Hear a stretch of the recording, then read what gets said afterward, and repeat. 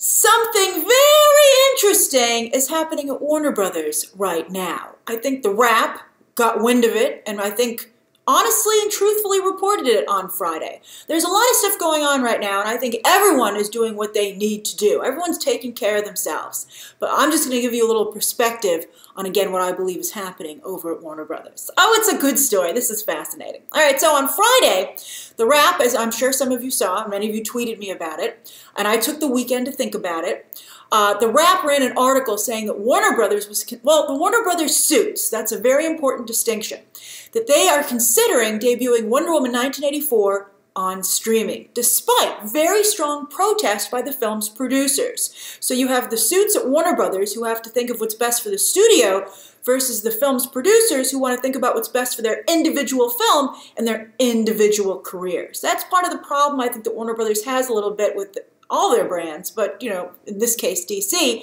in that you know nobody's committed to DC long term. They have producers come in, they make a movie, then they go back to the rest of their career.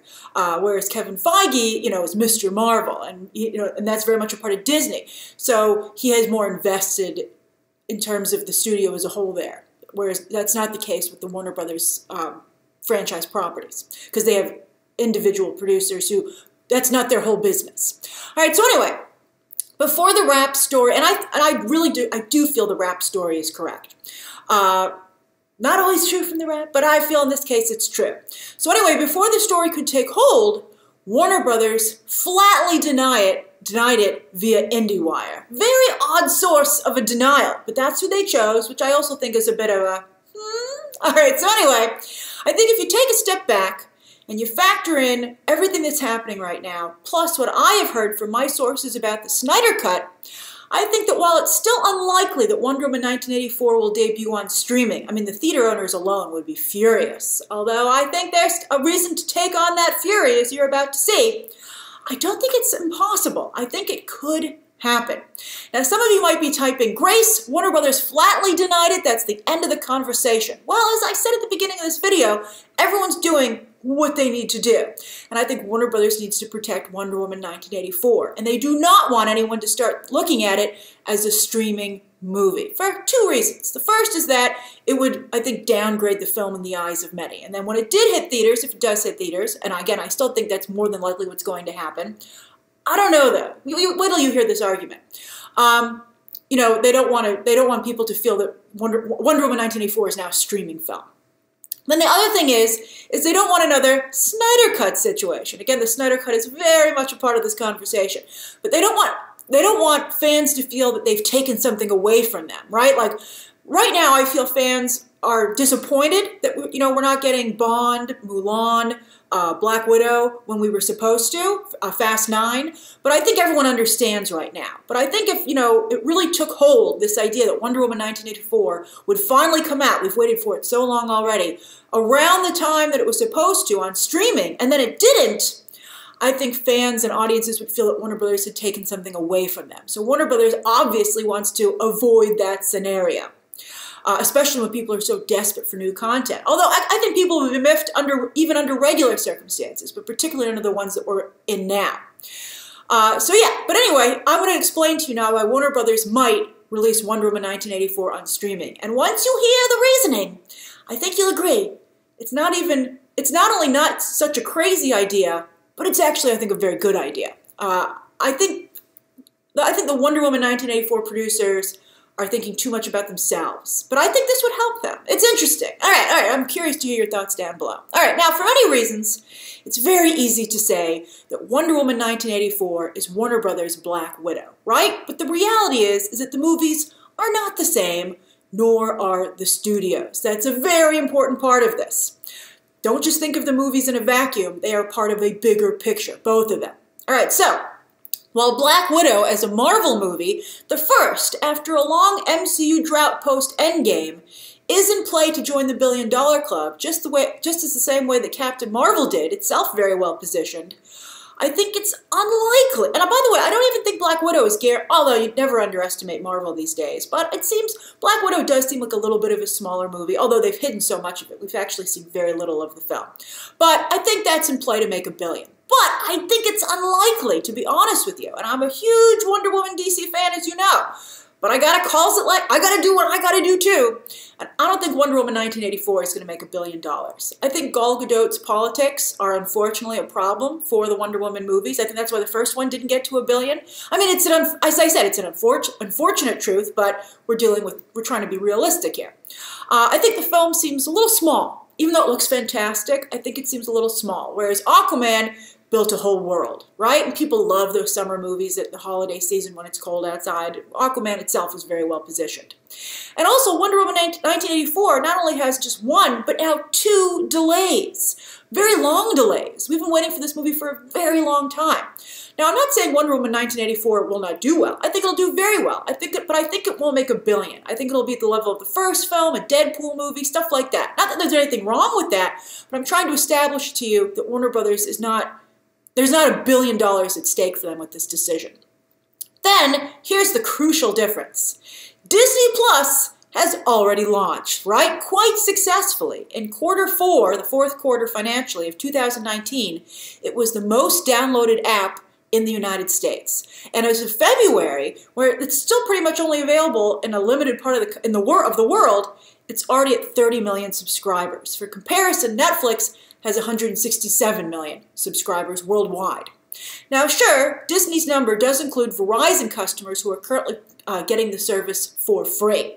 I guarantee you, though, that when it's time to renew, there will be an automatic renewal, and they'll get quite a bit of money right there alone. But also, Disney Plus is just about to launch in Europe, and under the circumstances, it should be quite popular. So, Disney Plus, up and running a few months before the pandemic, is actually in a very good position timing wise. HBO Max? Not so much. Warner Brothers streaming service is set to launch in the middle of the pandemic, at least in the United States. It's not supposed to hit most of the world until 2021, so you might be thinking, well, then how could Wonder Woman 1984 be a part of that streaming service? Well, maybe it would be available for purchase in other parts of the world. Uh, but you'll see it's going to be driving a lot of revenue in the United States alone. Uh, and of course, the United States and China. China's theaters, by the way, are opening, so it could play in theaters in China. Um, you know, those are the two biggest movie markets. So, you know, again, Warner Brothers got to do what Warner Brothers got to do. All right, so not only is it launching in the middle of a pandemic in the United States, but at a $15 a month price point. Now, by May, and I'm sure Warner Brothers is considering this, because of massive layoffs, furloughs, etc., a lot of people will be having serious financial difficulties by that point and will already be subscribed to several streaming services that have gotten that have gotten the job done entertaining them already during this crisis. So they're going to be like, do I have the money for another streaming service? Do I need another streaming service right now? Furthermore, Amazon, for instance, just made its kids programming free. That means you don't have to be an Amazon Prime member to watch it. So HBO Max is going to come along and say, give me money, right? A lot of people could argue that the service, under the circumstances, again, should be free, right? And, you know, again, that's you know that would be a disaster for Warner Brothers, both financially and public relations wise. And on top of all that, because film and TV production has been halted, the Friends reunion, which was supposed to be a major impetus to get you to sign up for the service, in addition to having the Friends uh, library, that has been delayed. It will not be available at launch. So HBO Max will probably have to launch with little to no new content because of the pandemic. Now, as we've discussed before on Twitter, this is my first time discussing it in a video, HBO Max had hoped to make the Snyder Cut part of its launch, or at least part of its launch announcement. So like you would maybe you wouldn't get the Snyder Cut at launch, but it would be coming very soon, and that would inspire people to sign up for the service. But I've heard, again from my sources, that Snyder wants to shoot several new scenes that require VFX work. And of course, now they can't do that. So HBO Max suddenly doesn't have that carrot either. Now, yes, a finished version of the Snyder Cut does exist. He's put out photos of it. Uh, a handful of people have seen it, and they've loved it. And I can understand that some of you might be like, well, again, under the circumstances, just give me what you got. But, I mean, I think that would be a mistake. From what I've heard of what he wants to add, it will mean the difference between die-hard fans having the satisfaction of finally seeing it versus piquing the interest of even the casual fans and naysayers. It's that cool. Uh, he really has some cool ideas for what he wants to add to this. And since he's waited this long, I think he should hold off until he can do it the way he wants to. I mean, the Snyder Cut has taken on like mythological proportions at this point. It's a legend. And you can imagine the intense pressure to live up to that legend. And I think the additional stuff that he has planned will allow him to do that for sure. Trust me. So the Snyder Cut, I think, for the time being, is off the board. That means Warner Brothers is like, where do we have a shiny piece of finished new content that people are heavily interested in? Oh, look, Wonder Woman 1984. It's really smart when you think about it.